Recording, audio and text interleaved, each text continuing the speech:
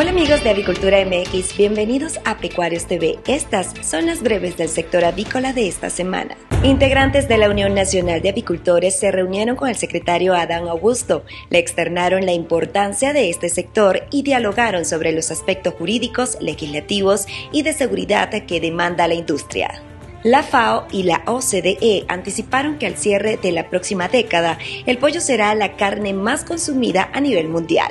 Actualmente el cerdo participa con 108 millones de toneladas, mientras que la proteína avícola lo hace con 97 millones. La ANETIF comunicó que un total de 30 plantas procesadoras de cerdo y pollo obtuvieron autorización para comenzar a enviar carne a Cuba. Solo en 2021, la isla importó de México 8.000 toneladas entre ambas proteínas.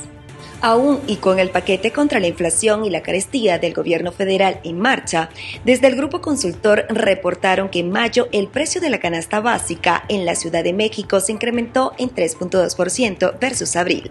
El pollo entero se encontró 5 pesos más caro que en 2021. De acuerdo con la BBC, los resultados del concurso El Pollo del Mañana, realizado en 1946 en Estados Unidos por el USDA, influyó en el desarrollo de las aves de engorda actuales, cuyo tamaño es 400% mayor al de aquella época.